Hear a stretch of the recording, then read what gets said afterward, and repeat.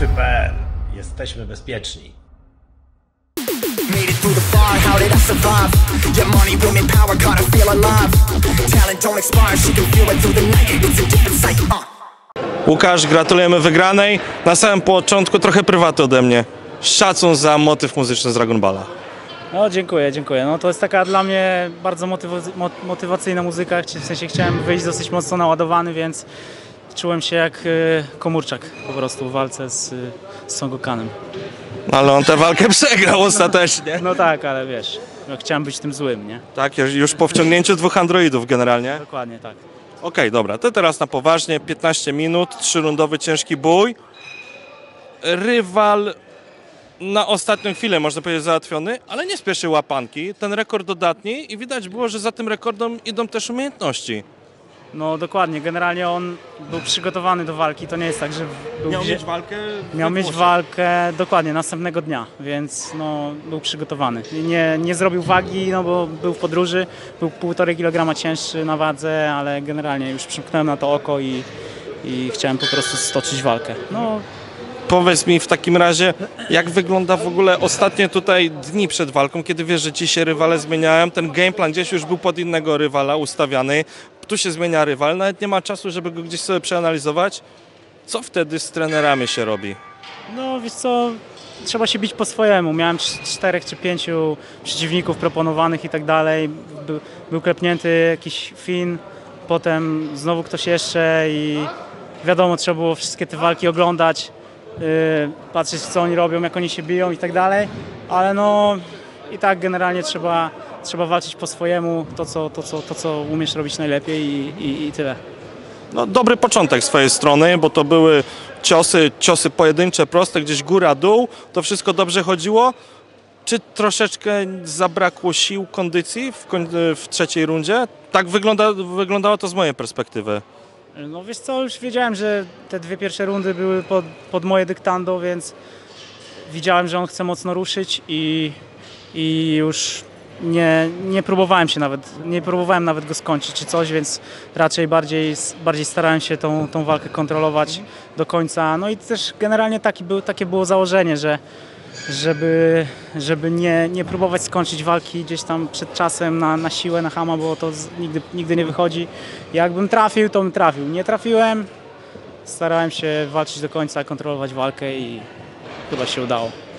To teraz tak, wiadomo, wygrana cieszy, wygrana przed, przed czasem jeszcze bardziej cieszy, ale czy w Twoim przypadku nie, nie właśnie ta wygrana na pełnym dystansie, tak spokojnie na punkty, po takiej długiej przerwie, to chyba najlepsze możliwe rozwiązanie. Zgodzisz się ze mną? Zgodzę się z Tobą. Okej. Zgodzisz się ze mną? Dobrze. My teraz wybiłeś z rytmu, bo nie, nie, nie, nie rozwinąłeś. Ale dobrze, odbijamy piłeczkę. Rdza. Często się mówi o takiej rdzy, gdzieś to mówi się, że jak zawodnik po długiej przerwie wraca, to nie wiadomo, czy będzie czuć klatkę, ring i tak dalej. Trzy lata to jest szmat czasu, jeśli chodzi o rozbrat z zawodowymi walkami. Jak to z tą rdzą jest w Twoim wypadku? Czy Ty gdzieś czułeś, że gdzieś nie ma na przykład tego dystansu? Bo tak troszeczkę mnie to dziwi, bo nieraz no, sparingi są przecież i tak dalej. To jest właśnie po to, żeby złapać to czucie i te, i, i, i te wszystkie inne rzeczy. Jak to jest z tą rdzą w Twoim wypadku? O ile można o takiej rdzy mówić?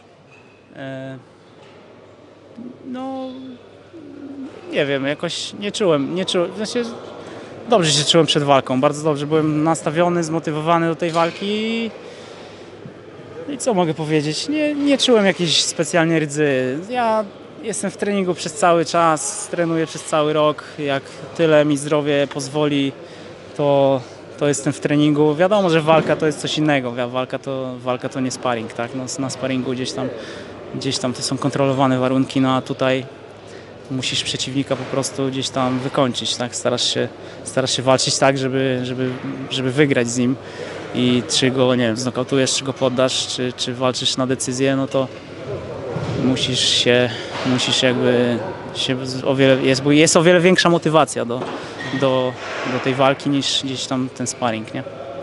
Ale sam się zgodzisz chyba, że jednak światła, atmosfera idzie tym po prostu nasiąknąć i to chłonąć i w tej klatce lepiej się czuje, zwłaszcza jeżeli jesteś w swoich rodzinnych stronach. Dokładnie tak, dokładnie tak. No czułem, czułem wsparcie kibiców, czułem, czułem, no tutaj prowadziłem zajęcia w Tczewie, dużo, dużo ludzi stąd, też dużo ludzi przyjechało do mnie, żeby obe- obejrzeć, no i też do innych zawodników, tak? Więc no jest, jest naprawdę, czułem ich wsparcie, dziękuję, że, że przyszli, dziękuję, dziękuję też organizatorom, że mogłem, że mogłem walczyć tutaj i jest wszystko jak najbardziej na plus. W wywiadzie w klatce mówiłeś o, o swoim śnie, na drugi dzień był telefon od menadżera. Tak teraz czuję, tak podejrzewam, że gdzieś po weekendzie ten telefon się do Ciebie odezwie, bo Łuki przypomniał sobie, jest ekspozycja w walce wieczoru na fajnej gali na, Pol, na Polsacie, na antenach Polsatu, więc to sobie promotorzy przypomną o Łukim i, i matchmakerowie. Nie śpieszy mi się, nie, nie mam ciśnienia, nie, nie mam żadnych planów teraz dotyczących swojej kariery. Yy, No zobaczymy, co czas pokaże. Jak będę czuł, że, że, chcę, że chcę znowu wejść do klatki i znowu się bić, no nie, nie będzie po prostu tak jak, tak, jak, tak jak to robiłem wcześniej, że gdzieś tam była, była presja, dobra, musisz walczyć, musisz jechać, lecieć do Vegas, bo cię zwolnią, mimo że byłem kontuzjowany mimo że gdzieś tam nie, nie byłem przygotowany, no bo w momencie, w którym możesz, nie wiem, ćwiczyć na worku i jeździć na rowerze, no to, no to sorry, no ale to nie jest przygotowanie do walki, tak? No, musi, zawodnik musi być obity w sparingach, musi być, musi być zdrowy, no a u mnie tego nie było. Ale to już, to już jest przeszłość i nie, po prostu uczę się na swoich błędach, nie zamierzam ich powtarzać i jak będę zdrowy, to będę walczył, jak jeśli nie, no to, to i tak będę szczęśliwy. Tak wspomniałeś o, o Vegas, o Stanach. Yy, UFC dzisiaj w nocy. Teraz jest, jestem, jestem ciekaw, bo są dwie szkoły. Generalnie tak jak e, e, te rozmowy z wami prowadziłem o na przykład walkach, które tam lubicie wracać. Niektórzy zawodnicy odpisywali albo mówili przez telefon, ja mam dosyć MMA na co dzień, ja gdzieś tego nie oglądam.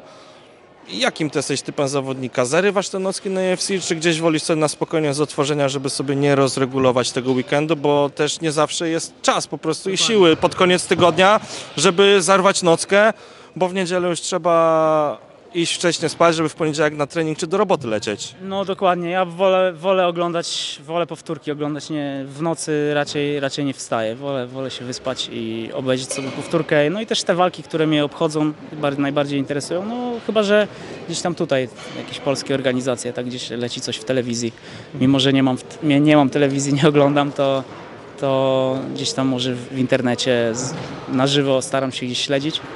A tak to raczej z odtworzenia. No i no teraz tak, John Jones kontra Cyril Ga- Gane, tak? Gane, tak. No. Ten Gane, ten Gane, Gane to jest kurczę taki, taki podły typek, bo generalnie jak byliśmy w w tym, w, w Senegalu, na, jak walczyłem na tym aresie z Lapilusem, to gdzieś tam, gdzieś tam chodził po tym hotelu, krzyczał do mnie, próbował mnie zastraszyć, wiesz, że Taki wielki chłop? Dokładnie, tak, gdzieś tam, gdzieś tam.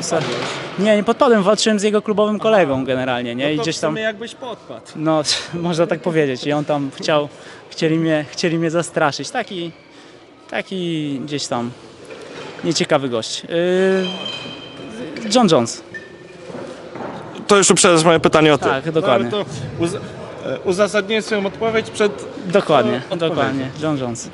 No to co, Łuk, ja Ci bardzo dziękuję za rozmowę. Fajnie tu spędziliśmy czas, myślę, na, na, na gali. W humorach dobrych chyba opuszczamy halę. Dokładnie, dokładnie, w jak najlepszych. I ja Ci dziękuję, nie zatrzymuję. Trzymaj się, zdrówka życzę. Dziękuję wzajemnie. Pozdrawiam kibiców. Dzięki. Safety.pl. Jesteśmy bezpieczni. Made it through the fire, how did I survive? Yeah, money, women, power, gotta feel alive. Talent don't expire, she can feel it through the night. It's